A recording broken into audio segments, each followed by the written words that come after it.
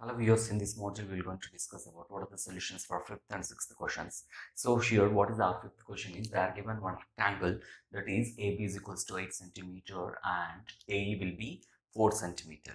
Then what we need to find is find the area of triangle BCE.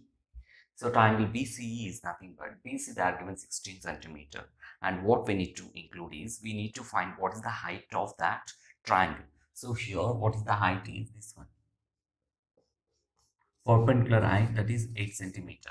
So perpendicular height will be 8 centimeter. Then what is the formula? So area of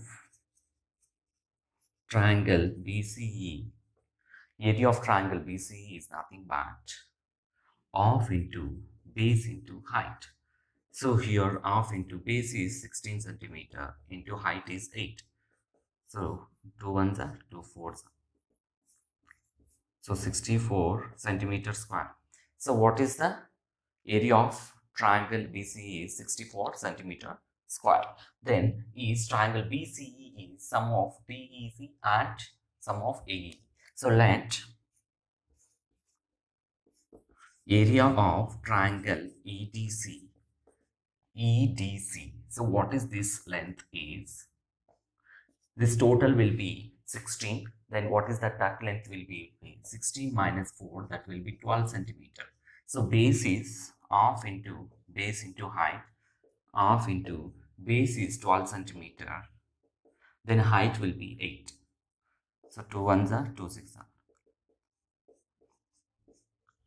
So so 48 centimeter square area of EDC then area of triangle AEB half into base into height. AEB is nothing but half into base is 4 centimeter.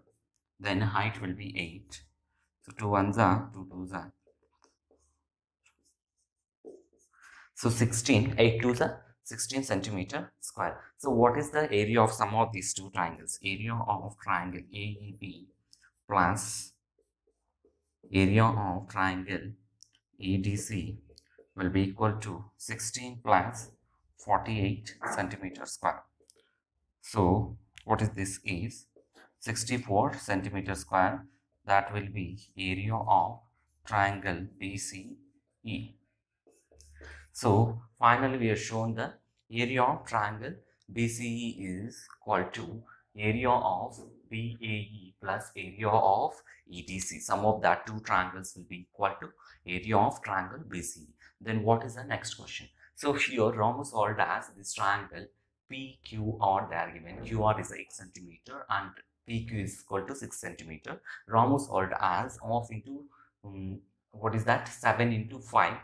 So here 7 into 5 Ramu solved as 7 into 5 and Gopi solved as off into 18 to 5. Here perpendicular distance is 5 from P to F that is the perpendicular distance with the respect of PR only not with the respect of QR. If it is a QR we need to take it as a base means from here you need to go height from PR perpendicular height should go but PR PR is so given. What is the area of triangle PQR half into base into height. So half into base is we can take there is no perpendicular distance for the remaining things.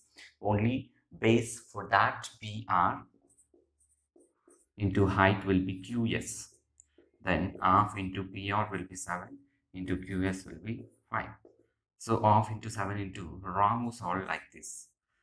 So who is correct is Ramu and why what is the reason is base is PR for that corresponding height is QS. So that is the reason. So thanks for watching this video. If you want more videos, please you can watch right here on YouTube. Please subscribe.